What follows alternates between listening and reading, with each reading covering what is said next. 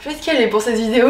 J'ai pas pris mes notes. Bah non mais il manque de la lumière en fait. Je fais tout n'importe comment moi. Salut tout le monde et bienvenue dans cette nouvelle vidéo. Je suis très heureuse de vous retrouver aujourd'hui sur ce canapé. Je ne vais pas vous présenter un vlog d'une de mes sessions Uber Eats mais en revanche j'ai décidé de changer un peu et d'arrêter de parler de moi. C'est pourquoi il y a quelques temps j'avais fait un post sur Instagram, sur TikTok et il me semble que j'en avais parlé également dans une de mes vidéos YouTube où en effet j'avais besoin de vous et de vos anecdotes en tant que livreur ou livreuse Uber Eats puisque oui j'ai eu une livreuse Uber Qui m'a répondu quand même dans tout ça. J'avais besoin donc que vous me racontiez vos anecdotes, des péripéties, des choses un peu what the fuck ou rigolotes qui vous est arrivé. Donc j'ai reçu quand même plusieurs messages. Malheureusement j'ai pas pu prendre tout le monde parce que je me suis dit que ça ferait une trop longue vidéo. Donc je n'ai pris que 6 personnes. Je pense que je ferai une partie de, ce type de vidéo là parce que j'avais reçu d'autres anecdotes et malheureusement il a fallu que je choisisse. Mais dans tous les cas voilà, s'il y a une prochaine vidéo, vous passerez dans cette vidéo. Du coup comme je le disais j'ai choisi donc 6 personnes dont une fille qui m'ont donc fait leur retour de leurs petites anecdotes. Donc sans plus tarder, c'est parti. Et bien entendu, YouTube ne serait pas YouTube sans le watch time. Il s'avère que la sixième et la dernière anecdote que je vais vous raconter, c'est la plus pépite. Bref, c'est parti pour la vidéo. La première anecdote, et ce sera donc la seule où la personne souhaitait rester anonyme, donc je respecte ça. Dans tous les cas, ça change pas grand chose de connaître le blast de la personne à qui c'est arrivé. Pour le coup, cette première anecdote n'est absolument pas rigolote. Quelque chose comme ça, je crois que ça m'est jamais arrivé. On va appeler cette personne X. X me raconte donc qu'il a une commande auprès d'un restaurant.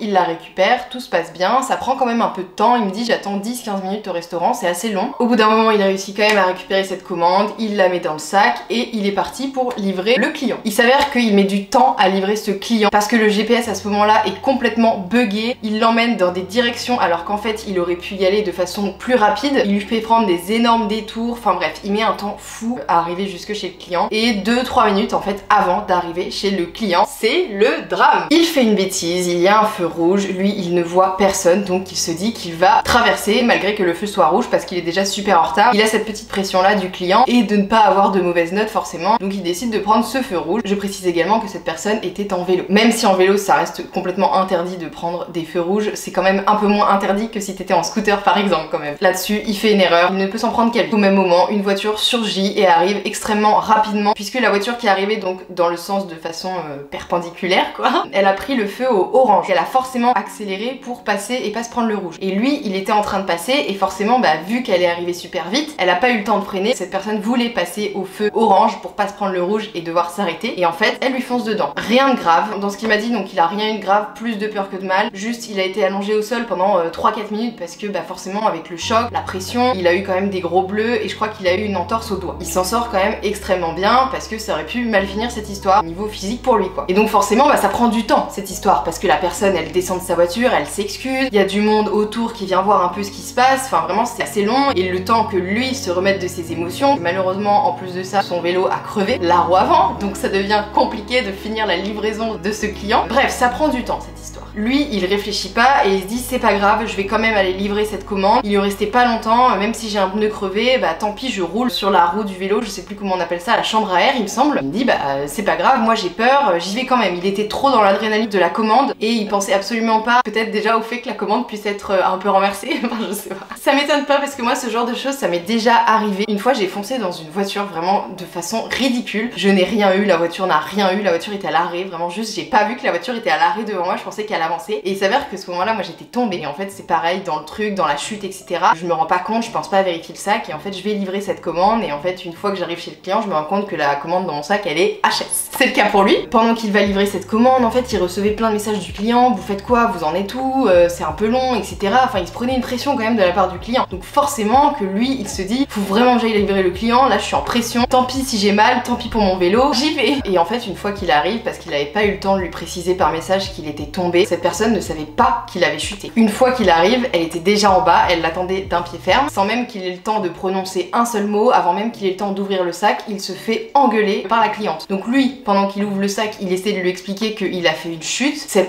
n'en a absolument rien à faire de sa chute, il lui montre son vélo avec sa roue avant crevée, cette personne n'en a absolument rien à faire, et là, il ouvre son sac et il se rend compte que la commande est morte de chez morte. Tout est renversé, il y avait apparemment une sauce à l'intérieur qui avait explosé dans tout le sac, le jus avait coulé, enfin vraiment une catastrophe. Et là la cliente voit ça. Et là elle pète un plomb, apparemment ça a été horrible. Au final la cliente lui a dit j'en ai rien à faire, vous gardez votre commande. Et moi je vais vous défoncer auprès du Eats. Je veux bien que tu aies faim, je veux bien que euh, quand t'as commandé t'as envie de le recevoir de la meilleure des façons possibles, mais malheureusement il faut prendre en compte le fait que les livreurs soient en vélo, en scooter, on travaille dans un lieu public, sur la route d'autant plus, et que bah, les accidents c'est possible malheureusement. Bien entendu nous on fait de notre mieux pour éviter cela, mais ça peut arriver. Lui le pauvre, enfin vraiment, alors ça part d'un feu rouge, ok il a fait une erreur, mais en plus de ça, la voiture a également fait une erreur parce qu'elle a accéléré et qu'elle a pris bah, du coup le feu orange. La voiture forcément est un peu moins fautive que le vélo parce que au orange malgré tout, t'as quand même cette possibilité là de passer. Le vélo certes n'avait pas au feu rouge, mais la façon dont laquelle s'est finie cette histoire, vraiment le pauvre. Je pense que Monsieur X va s'arrêter à chaque feu rouge maintenant. Cette histoire il m'a dit que c'était il y a quand même un peu de temps donc maintenant il s'en est remis et puis il en rigole de ça mais c'est vrai que sur le coup je pense sincèrement que tu dois être en PLS. Force à toi Monsieur X, si tu t'en es remis euh, c'est le principal quoi. Mais c'est vrai que moi si ce genre de choses m'arriverait mais vraiment mais je pense que je pèterais un câble auprès du client. Je veux bien que le client soit roi mais faut pas non plus déconner quoi. Genre vraiment là cette histoire est complètement absurde. Voilà pour cette première anecdote, passons à la deuxième. Pour la deuxième anecdote nous avons Bastien qui nous raconte que ça fait donc très peu de temps qu'il a démarré avec Uber Eats. Il faut savoir que c'était un soir, c'est très important de retenir cette information là. Un soir il reçoit donc une double commande qu'il décide d'accepter. Donc il récupère la commande au restaurant, il met son GPS, il va livrer la première personne puisque comme c'est une double commande, il a deux clients à livrer. Pour le premier client, tout se passe très bien. Vous avez l'habitude de le voir dans mes vlogs. On fait notre petite route, on arrive, on les appelle. Bonjour c'est Uber Eats. Hop, bon appétit, bonne soirée, merci, au revoir. On en est là. Ensuite, il a le deuxième client. Donc il valide la commande du premier client sur son portable et il regarde la route pour aller livrer ce deuxième client. Il met donc le GPS pour aller livrer son deuxième client et là il se rend compte que c'est quand même assez loin le GPS. Donc il utilise Google Maps, lui dit qu'il a 20 à 25 minutes de route, ce qui est quand même long. En général, les commandes Uber Eats, je dirais qu'en moyenne c'est plus 10 minutes à livrer. Donc c'est vrai que 20-25 minutes ça commence à faire long parce que ça veut dire 45 minutes à peu près aller-retour quoi. Donc il prend la route, il se dit bon bah, c'est pas grave, c'est assez long mais c'est comme ça, c'est la vie. Il suit son GPS et au bout d'un moment le GPS l'emmène à l'entrée d'une forêt. Il insiste bien pour dire c'est pas une petite forêt de ville, c'est une vraie forêt. On était en plus le soir, il faisait nuit noire et il avait pas suffisamment pris de lumière. Il me disait que d'habitude il avait sa lampe frontale, là il avait juste les lumières du vélo mais c'est vrai qu'il avait pas la lampe frontale. Donc ça éclairait vachement moins et forcément en forêt bah y a pas de lampadaire quoi. Faut avoir les lumières suffisantes pour y voir quelque chose. C'est vrai que ça c'est un peu les problèmes avec les GPS. Ça ne m'arrive plus parce que je connais extrêmement bien la ville donc limite j'ai même plus besoin de GPS pour aller à un point A, un point B parce que je connais les routes qu'il faut prendre. Mais c'est vrai que quand tu démarres Uber Eats, là pour le coup, Monsieur Bastien c'était le cas, je parle quoi, je dis monsieur chaque fois. Il démarre Uber Eats donc c'est vrai que voilà, tu suis le GPS quoi, en même temps normal. Moi une fois ça m'était arrivé pareil de suivre le GPS, j'avais une commande à l'aéroport de Nantes. Donc dites-vous, de commerce, le plein centre jusqu'à l'aéroport, il y avait 10 bornes. Je sais même pas pourquoi j'ai accepté cette commande, mais je l'ai accepté et pareil le GPS m'avait emmené dans des endroits what the fuck. J'avais atterri dans un champ avec un chemin en terre et des énormes bosses. Figurez-vous que j'avais chuté. J'étais vraiment tombée au ralenti, mais juste bah, avec la terre et les grosses bosses, j'avais fini par glisser avec mon vélo qui était un vélo de ville, qui n'est pas un VTT. Et forcément, c'est une galère. Bref, tout ça pour dire que les GPS Uber Eats, des fois, ils t'indiquent des routes, tu sais pas ce que tu fais là quoi. Il y a une route, ok, mais c'est peut-être pas la meilleure quand même. Donc forcément, pour Monsieur Bastien, euh, dans cette forêt, il va pas rien se passer. Lui, il pédale, il veut en finir avec cette forêt, et là, au bout d'un moment, il entend des bruits d'animaux. Alors c'est pas hyper rassurant d'entendre des bruits d'animaux euh, en pleine nuit dans une forêt, euh, surtout quand il fait nuit noire. Il a l'impression que c'est un peu des chevaux qui broutent un peu, enfin je sais pas, qui ronronnent, je sais plus comment on appelle ça pour les chevaux, qui font du bruit avec leur bouche quoi. Au début il se dit c'est ça. Continue à pédaler normalement. Quelques secondes juste après, il regarde à sa droite et là il tombe sur quoi? Un sanglier. un sanglier, super. Comme si de rien n'était quoi. Tu livres ta commande Uber Eats, tu tombes sur un sanglier, super. Donc là la pression s'empare de Bastien. Ce qu'il fait c'est qu'il se retourne droit devant la route, il reprend son vélo bien entre ses mains et là il se met à pédaler comme un porc parce que vraiment il n'avait pas le choix. Il commence à paniquer, il se dit mais attends mais imagine il me course, imagine, enfin voilà les sangliers en plus ça peut courser surtout s'il y a des bébés. Souvent je crois que c'est plus les femelles qui coursent si elles ont des bébés en mode pour les protéger. Mais je sais que moi c'est des histoires que j'ai déjà entendues, enfin des gens ou des gens qui vont courir par exemple faire leur footing, qui croisent des sangliers et les sangliers le coursent. Donc là tu paniques un peu. Alors heureusement il était en vélo, c'est quand même hyper marrant, un livreur Uber Eats se fait courser par un sanglier, c'est quand même assez épique. Comme quoi avec Uber Eats on peut avoir affaire à tout clairement. Au final la commande c'est bien fini, il s'est pas fait courser en réalité par un sanglier, juste il est passé à côté du sanglier. Mais le sanglier, bon je crois qu'il en avait rien à faire ce soir-là, il avait pas faim apparemment et au final il a livré cette commande mais le problème c'est que forcément en plus vu qu'il pleuvait, nuit noire, il a mis un temps fou parce qu'il est passé par une forêt donc forcément tu mets plus plus de temps à livrer. Il a ajouté 15-20 minutes sur le temps qui était prévu de base par Uber Eats, il s'est excusé, etc. Au final, tout s'est bien fini, pas de problème pour euh, ce monsieur, contrairement à la première anecdote pour monsieur X. Bref, passons à l'anecdote numéro 3.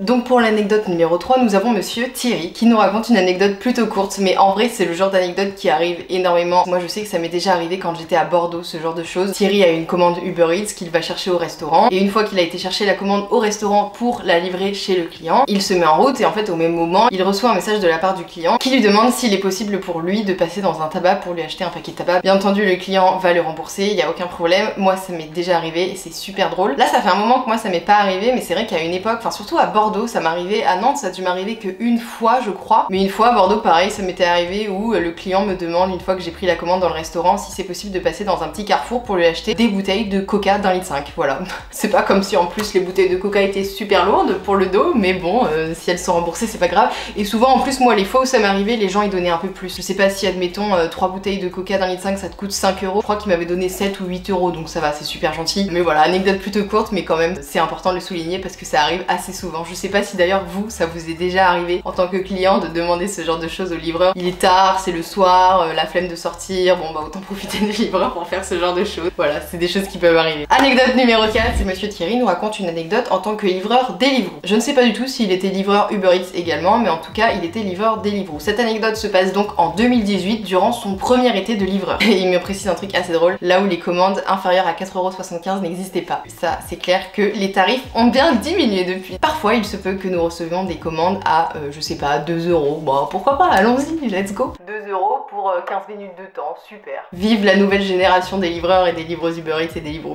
Bref, passons. Ce jour-là, monsieur Thierry reçoit donc une commande de la part d'un client qui avait commandé un tacos. Donc il se rend au restaurant, il va chercher son tacos et let's go, il se dirige donc vers chez le client. Une fois arrivé chez le client, il voit qu'il y a personne dehors, donc ce qu'il fait, c'est qu'il l'appelle pour lui dire qu'il est bien arrivé. Il appelle une première fois, le client ne répond pas, donc il appelle une deuxième fois, on sait jamais, peut-être qu'à ce moment-là, il était pas sur son portable et peut-être que pour le deuxième appel, il va le voir. Vraiment la suite me fume de rire. Il s'avère donc au bout du deuxième appel, il n'y a toujours pas de réponse et lui comme c'était son premier été en tant que livreur Uber Eats, un peu expérimenté, il se dit ça se trouve je me suis trompé d'adresse. Donc il décide de bouger un peu dans le quartier pour voir s'il n'y a pas peut-être quelqu'un dehors euh, à quelques mètres de là où il est et ça se trouve peut-être que le GPS faisait un peu de la chiasse ou soit lui qui s'était trompé, il savait pas trop. Et là, le moment fatidique, il reçoit un appel du client et donc il répond, il se dit oh bah super, euh, nickel, je vais enfin pouvoir savoir où se trouve le client. Et là, le client l'appelle et il lui dit Je m'excuse, je suis chez les flics. Donc lui il se dit forcément mais c'est quoi ce bordel? Qu'est-ce qui se passe? T'as eu le temps de commander et entre temps t'as eu le temps d'aller chez les flics? Au final le client lui dit quand même là où il est. Monsieur Tom Tom ce qu'il fait c'est qu'il se dirige donc vers l'adresse indiquée en se posant énormément de questions. Tu te dis attends c'est quoi ce bordel? Pourquoi il est avec les flics? Et donc une fois qu'il arrive il se rend compte qu'il y a deux personnes qui sont menottées, carrément menottées. Il y a donc une troisième personne qui est le flic. Et donc lui forcément il est un peu confus. Il y a un des deux mecs du coup qui était menotté qui est donc le client. Et donc à ce moment là le flic interpelle le livreur en lui disant de poser la commande sur le toit de la voiture et c'est tout quoi, il lui dit rien de plus, juste posez-la et puis euh, eux ils se débrouilleront après, je sais pas du tout ce qu'ils avaient fait mais vraiment c'est insane. Du coup lui hyper gêné, il sort la commande de son sac et il la pose sur le toit de la voiture des flics et donc voilà après tout s'est bien fini pour le livreur en tout cas pour lui, il est parti après ça mais du coup c'est quand même assez épique. Surtout qu'à partir du moment où tu prends ta commande sur Uber Eats ou sur Deliveroo là pour le coup, jusqu'au moment où tu la reçois, au pire il se passe quoi? Il se passe une demi-heure quoi. Allez on va dire 45 minutes mais c'est rarement quand même plus. En 30-45 minutes, le mec a eu le temps de se faire interpeller par les flics, alors que de base il voulait juste commenter son repas. Et peut-être que ça se trouve il a mangé sa commande Deliveroo au poste de police. Je ne sais pas du tout si les flics ont autorisé cela. Mais heureusement pour lui qu'il n'y avait pas de code à donner parce que clairement ça aurait été une galère. Donc voilà pour cette anecdote qui est vraiment what the fuck. Vraiment je vous assure que quand j'ai reçu le message j'étais morte de rire. Vraiment je trouve ça trop trop. Bref, anecdote numéro 5. L'anecdote numéro 5 c'est enfin la fameuse livreuse dont je vous ai parlé au début. Oui oui on n'est pas beaucoup mais il y en a quand même des livreuses qui me racontent son anecdote qui est particulièrement rigolote et pour le coup elle a eu extrêmement de chance. Donc en gros c'est Madame Maud.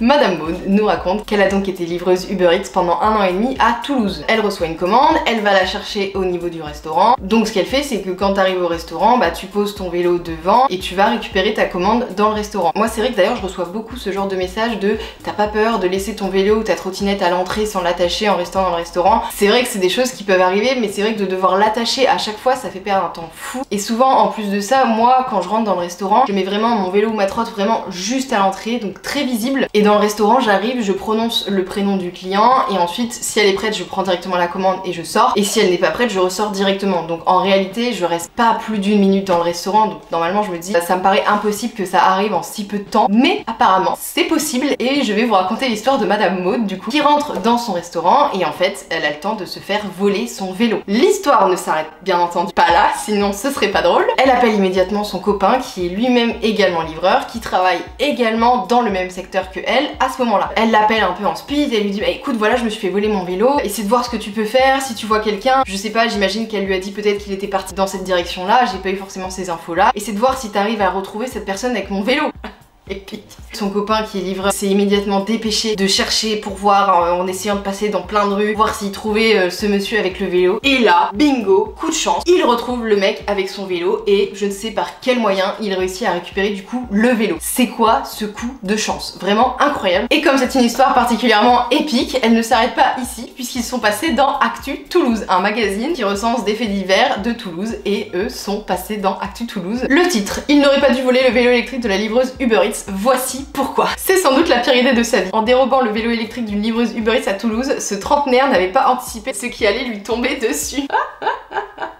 Non mais vraiment ça me termine Bref au final dans l'article qui est assez court ils ont pas mal romantisé le truc en mode un sprint à la Cavendish, le super héros, son petit copain est arrivé à la rescousse et a réussi à récupérer le vélo à ce bandit. Ils ont raconté l'histoire qui était vraie mais voilà ils l'ont raconté d'une manière un peu rigolote quand même. Je n'ai aucune idée d'ailleurs de comment cette histoire a pu arriver dans le journal, je me pose la question. Si d'ailleurs Maud tu passes par là n'hésite pas à le dire en commentaire parce que j'ai pas eu cette réponse là. Est-ce que c'est le journal qui est venu vers toi mais comment ils ont pu savoir que du coup tu t'étais fait voler, qu'il s'était passé cette histoire et ensuite en faire un article? Ou alors peut-être que tu l'as raconté quelque part sur les réseaux et que eux sont tombés dessus et qu'ils en ont fait un article. C'est peut-être plus probable. Voilà l'histoire euh, démarre mal mais au final elle finit bien et puis surtout elle est rigolote parce qu'elle finit par passer dans le journal. Donc voici pour cette anecdote numéro 5 et nous passons à la sixième et la dernière anecdote qui est la plus triste finalement que je vais vous raconter tout de suite sans plus attendre. Pour cette sixième anecdote, nous avons donc monsieur Lilian, et d'ailleurs connu sous le nom de Lilian Coursier, donc sur YouTube, Instagram et TikTok, il a les trois réseaux sociaux, peut-être que d'ailleurs certains le connaissent, qui nous raconte une de ses anecdotes à Paris, puisque c'est un livreur Uber Eats à Paris. Monsieur Lilian reçoit donc une commande d'un restaurant qu'il connaît très bien, c'est Amoré et Gusto. Il m'a d'ailleurs fait une petite parenthèse en disant que les habitués de sa chaîne normalement devraient connaître également ce restaurant. C'est une commande qui est assez bien payée et qu'il doit livrer dans les beaux quartiers de Paris, proche de la place Vendôme. Ceux qui connaissent Paris, on sait que la place Vendôme est un quartier hyper chic et hyper bourgeois. Attention, préparez-vous. Quand il a accepté la commande, vu qu'elle était bien payée, il n'a pas forcément regardé où est-ce qu'était la destination de cette commande et où est-ce que donc habitait le client. Il s'est focalisé donc que sur le prix de la livraison et ce qui est tout à fait normal, chose que j'aurais faite. Si la commande est bien payée, même si j'aime pas trop livrer dans ce quartier-là, franchement, j'y vais et il n'y a pas de galère. Monsieur Lilian m'a donc précisé qu'il n'aimait pas trop livrer dans ces quartiers-là de Paris, puisque c'est des quartiers très chics, très bourgeois et que souvent les gens méprise particulièrement les livreurs. Et ça va être le cas malheureusement. Donc une fois qu'il a récupéré sa commande au restaurant, il prend la route et quelques temps après, il arrive donc à l'adresse indiquée. Sauf qu'en plus déjà, il galère à trouver l'adresse précise parce que le point GPS donc du GPS Uber Eats n'était pas placé dans la bonne rue. Et ça vraiment c'est des choses qui arrivent. Moi c'est pareil et c'est assez chiant. Des fois il te place un point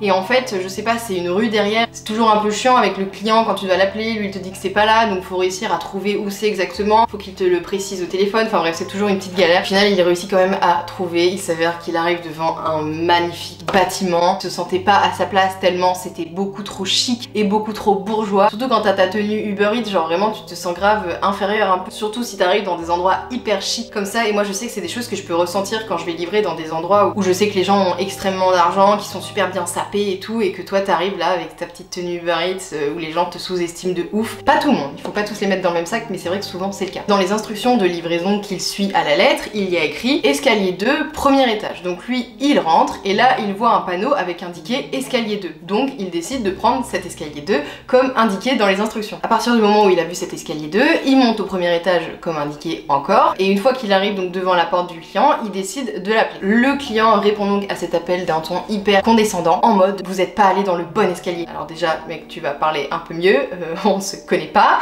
et en plus de ça je suis tes instructions de livraison. D'après ce que monsieur... Je vais arrêter d'appeler monsieur Lilian puisqu'il s'appelle Lilian Coursier sur les réseaux sociaux. Je vais l'appeler Lilian Coursier J'ai arrêté de dire monsieur. À croire que donc tous les livreurs en fait se trompent et qu'il a l'habitude de ça et que du coup il en a rien le cul et il dit vous vous êtes trompé d'escalier. Bah mec à la limite change ses instructions de livraison quoi. Déjà il est monté donc franchement c'est cool parce que ah non si je monte et qu'en plus le gars me dit vous êtes trompé d'un ton condescendant je suis en mode mais What? il s'excuse au téléphone puisque le client est roi. Il lui demande donc bah où est-ce qu'il devait passer parce que lui il a suivi les instructions qui étaient dites quoi. Genre escalier 2 il prend l'escalier qui est juste derrière. Apparemment non puisque en fait au lieu de prendre cette porte pour monter dans l'escalier numéro 2, il fallait aller derrière où il y avait une trappe et en fait à ce moment-là ça te permettait de monter. Sauf qu'en plus le passage qu'il devait faire c'était un couloir hyper étroit où limite son sac il passait même pas. Je suis en train de galérer de ouf. Pour un mec qui me parle hyper mal, c'est hyper désagréable. Et au final comme il est encore au téléphone avec lui, il s'excuse de nouveau puisque maintenant c'est bon, il a réussi à trouver l'endroit où fallait passer exactement et en plus durant l'appel il lui dit qu'il était un peu fatigué et euh, désolé quoi, ça peut arriver. Et le client ne répond même pas, il lui dit je vous attends. Ah bah d'accord, super, ça promet quoi. Et là le moment le plus fou et franchement c'est trop triste. Je trouve ça abusé que certains clients, bien entendu ça n'arrive pas souvent et fort heureusement, mais que les clients soient aussi méchants avec les livreurs alors que déjà on leur livre leur repas. Alors ok, t'as payé. En fait, il y a un minimum de respect à avoir avec autrui quoi. Genre c'est pas parce que je suis livreuse Uber Eats que tu dois mal me parler. Et en fait lui il continue à prendre son chemin donc pour monter et il voit que le client oublie de raccrocher. Vu que client lui il était dans son truc, bah il raccroche pas et en fait au même moment il entend quoi? Il entend que le client il parle à quelqu'un d'autre qui était avec lui donc j'imagine dans sa maison et qui lui dit j'en ai rien à foutre que le livreur soit fatigué. Ça il pensait pas que le livreur allait l'entendre parce que je pense que le client pensait qu'il avait raccroché. Du coup Lilian il prend le téléphone, il dit bah vous savez que je vous ai entendu là en fait? Et là je pense que le client il se rend compte que Lilian est en train de parler au téléphone et qu'il est encore au téléphone du coup avec le livreur et il lui dit euh, vous avez entendu quoi? En mode il commence un peu à paniquer et euh, Lilian il dit bah ce que vous venez de dire en fait? Et donc à ce moment là il y a un gros blanc au téléphone, le client ne répond absolument pas à ce que vient de dire Lilian parce que je pense qu'il est hyper embarrassé et bah oui forcément t'as bien raison. Et là ce que Lilian répond et franchement Lilian big up à toi, un boss. Il lui répond donc vous savez monsieur payer les frais de livraison ne vous donne pas droit à l'irrespect envers votre prochain et surtout à celui qui va vous nourrir ce soir. Et en plus de ça le client ne répond pas et lui dit écoutez monsieur vous savez quoi je vais annuler votre commande et vous avez qu'à vous rapprocher de Uber Eats, moi je vais annuler cette commande, vous vous débrouillez avec eux et là il commence à dire passez une bonne soirée et le client raccroche au nez. Bien fait pour toi Bref voilà un peu pour cette anecdote qui est quand même euh, super triste. Je trouve ça fou que le client ne soit pas puni et limite même le client là à ce moment là il a dû aller se faire rembourser par Uber Eats et il a dû se plaindre un peu d'une manière il m'a super mal parlé nanana il a dû mentir complètement abuser clairement sur le livreur et en fait ça se trouve à tout moment le livreur bah il va se prendre un pouce vers le bas alors que concrètement lui il a rien fait on lui a parlé comme un chien. Sauf que Uber Eats ils vont absolument pas récompenser euh, le livreur de ça ils vont récompenser le client et le livreur lui il se prend un pouce vers le bas une note vers le bas comme on aime et ce sera tout quoi. C'est insane les conditions dans lesquelles on travaille. Déjà que les conditions sont pas évidentes et si en plus on n'est pas aidé par les clients qui sont hyper désagréables mais c'est de pire en pire. Et moi je pense que j'ai peut-être sûrement un peu de chance parce que je suis une femme et que potentiellement il y aura peut-être un peu moins de chance que les gens me parlent mal comme ils ont pu faire à Lilian ou comme ils ont pu faire certainement à d'autres mecs. Alors je dis ça ça se trouve c'est peut-être pas le cas mais je pense que ça doit quand même un petit peu jouer. Donc en effet moi c'est vrai que je pense que ce que je vous retransmets en tant que livreuse